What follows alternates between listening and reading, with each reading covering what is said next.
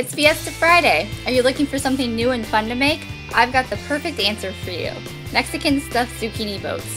Hang out with me for just a few minutes and I'll give you the 411 on how to make this tasty meal. Don't forget to subscribe to my YouTube channel. I'm working on a ton of new recipes and I don't want you to miss any of them. Please comment or ask any questions you have. I want to hear from you. You can also like me on Facebook or follow me on Instagram and Twitter at Best Easy Recipe.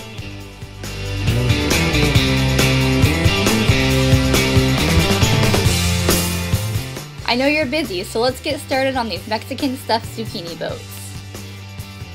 To start this meal off, you'll take a medium-sized pan and place one tablespoon of oil into it. Next, you'll add in a cup of chopped onions. Saute those for just a few minutes until they're a little bit soft. And then you're gonna go ahead and add in one pound of ground turkey.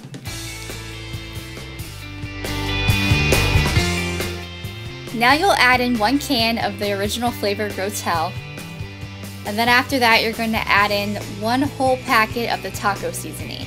Any brand, it doesn't matter, whichever kind you like. Now you'll mix everything together and cook it until the meat has browned. It should look something like, mm, like that. And then you'll set it aside and drain it. On to the next part. Now you'll take each zucchini and cut them in half lengthwise.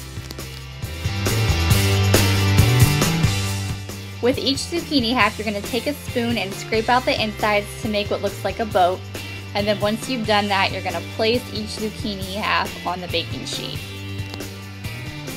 Alright, we're nearing the end. So the meat mixture you made earlier, you're going to take that and stuff each zucchini boat and just stuff it as much as you can. Don't worry about making a mess, as you can see I definitely did. so now you'll take the cheese that you have and just top each boat with cheese. You can add as little or as much as you want. It's all about the taste.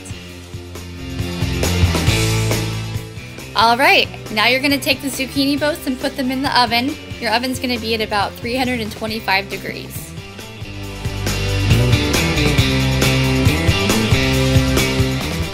About 25 to 30 minutes later, your zucchini boats are done. Look at that, it looked good.